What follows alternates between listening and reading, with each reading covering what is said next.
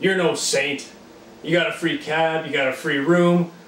Someone will listen to your boring stories. I mean, didn't you notice on the plane after you started talking, eventually I started reading the vomit bag? Didn't that give you some sort of clue, like, like, hey, maybe this guy's not enjoying it? You know, everything is not an anecdote. You have to discriminate. You choose things that are that are funny or mildly amusing or interesting. You're a fucking miracle. Your stories have none of that. They're not even amusing accidentally. Hey, honey, I'd like you to meet Del Griffith. He's got some amusing anecdotes for you. And here's a gun so you can blow your brains out. You'll thank me for it. Oh, I mean, I could tolerate any insurance seminar. For days, I could sit there and listen to them go on and on with a big smile on my face. And they'd say, how can you stand it?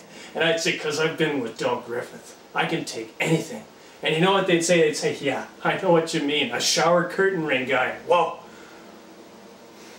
It's like going on a date with a chatty Cathy doll. I expect you have a little string in your chest that you pull out and have to snap back. Except I wouldn't pull out and snap back, you would.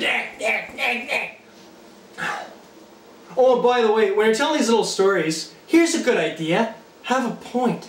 It makes it so much more interesting for the listener.